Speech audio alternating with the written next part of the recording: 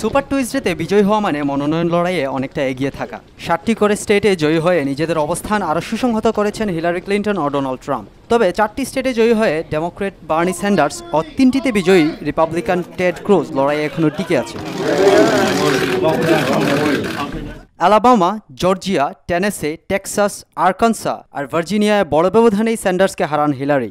ম্যাসাচুসেটসে দুই প্রার্থীর হাড্ডাহাড্ডি লড়াই হলেও বিজয়ীর হাসি হাসেন হিলারি। ফ্লোরিডায় এক র্যালিতে তাকে সমর্থন প্রদানের জন্য সবাইকে ধন্যবাদ জানান তিনি। এদিকে Georgia Vermont Virginia Alabama Tennessee Arkansas ও ম্যাসাচুসেটসে বিজয়ী হয়েছেন রিপাবলিকান ডোনাল্ড ট্রাম্প। দলীয় অবস্থান সংহত করে এই দুই প্রার্থী একে অপরকে মৌখিক আক্রমণ শুরু করেছে।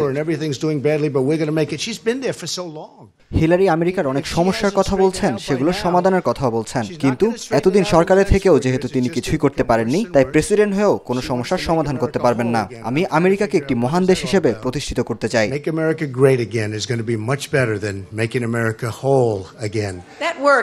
America America great again. America never stopped being great. America অনেক আগে থেকেই গ্রেট নতুন করে বানানোর কিছু নেই বরং বিভেদের দেয়াল ভেঙে মানুষের জন্য নতুন নতুন সুযোগ তৈরি হোক আমাদের লক্ষ্য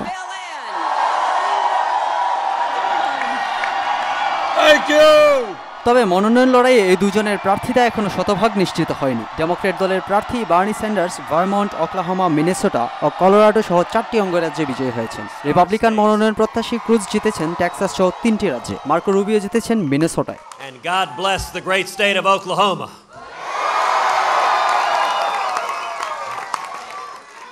এখন পর্যন্ত ফলাফল বিশ্লেষণে বোঝা যাচ্ছে পঞ্চাশটি রাজ্যে নির্বাচনের আগেই নির্ধারিত হয়ে যাবে দুদলের প্রার্থী। সুপার টুইজডে সেই বার্তাই দিয়ে গেল। Ghalib Ashraf TVN twenty four news desk.